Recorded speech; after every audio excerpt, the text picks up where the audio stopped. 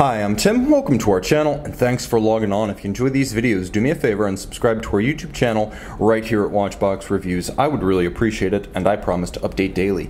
If you love this watch, you could see it and you could purchase it on our website, thewatchbox.com. And today we're discussing a model launched in 2003 that represents something like the best value in sports complications, possibly the best value in complications, period.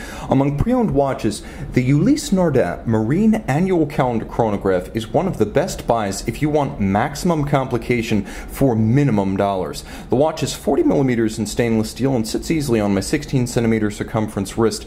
It's very short lug to lug, surprisingly so, at 43.4 millimeters. That is remarkably short cropped for a 40 millimeter case. It's also reasonably thin, despite the modular complication, only 13.4 millimeters thick.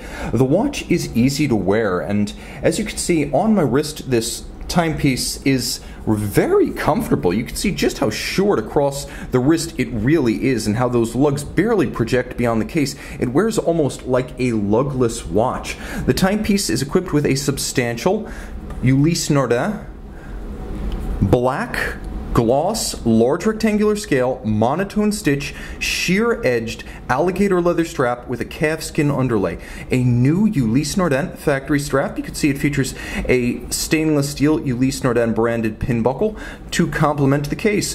In 1996, Ulysse Nardin landed on the idea of creating modern day wristwatches that were effectively in the image of its 19th century and early to mid 20th century navigation clocks or marine chronometers. The result was a number of features uncommon to other brands, but almost universal at Ulysse Nardin. You could see the combination of the negative camber of the case, which bows inward from its bezel down to its base, the fact that there is a bolt fixed hand engraved and lacquered individual numbering plate on the flank. And then there's the coined profile to the bezel. The timepiece featuring a white dial. It's a sort of matte white, not silver, but true white, with a tachymeter flange outboard. And that can be used in conjunction with the chronograph to gauge the speed of an object, as you can see with the calibration up to 500 units, a relatively fast moving object.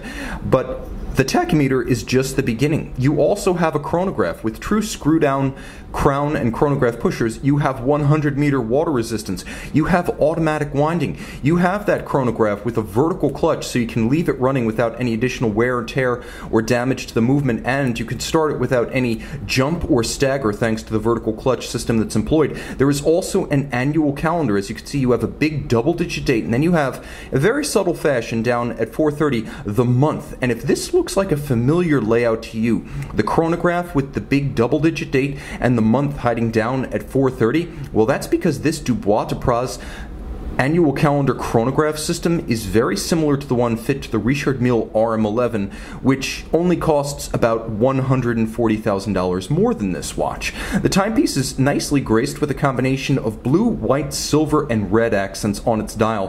White is dominant. You can see the attention to detail is superb, as the individual loomed indices feature small blue outlines so that they stand out more distinctly against the dial. The numerals are an embossed part of the dial, but they're raised with white flanks and a very dark blue top. You can see the extravagant blue metallic hands and the red varnished tip of the chronograph seconds. There is an applique polished steel, rhodium plated Ulysse Nardin anchor logo and the timepiece, all in steel with a solid case back featuring a circular concentric brushed graining. It's beautiful and it depicts 18 gold medals won historically by Ulysse Nardin at international chronometry competitions. Underneath the case back, which I should mention features these exquisite and as far as I've seen, unique blue caseback fixing bolts. That's the only time I've ever seen that. But there is a Ulysse Nardin caliber 51 in there, which is based on the ETA 2892A2 automatic winding 42 hour power reserve. It has hacking or stop seconds. It has a beat rate of 28,800 vibrations per hour or 8 beats per second. It features the annual calendar capability, which needs adjustment only once per year during the jump from February to March. It handles all other irregular length months and then you have that vertical clutch chronograph system included. This is a watch that puts it all together. Go ahead, quickly, check out what a Richard Mille RM11 costs, and now realize that that watch is not 100 meters water resistant, as is this Ulysse Nardin Marine annual calendar chronograph. Check out what a Patek Philippe perpetual calendar chronograph costs, and then tell me, is it loomed? Is it swimmable? I don't know. This is almost a unique proposition. See it and make it yours for very little coin on the Watchbox. Ulysse Nardin Annual Calendar Chronograph. Note that the chronograph minute and hour hands are loomed. Easy to read, day or night.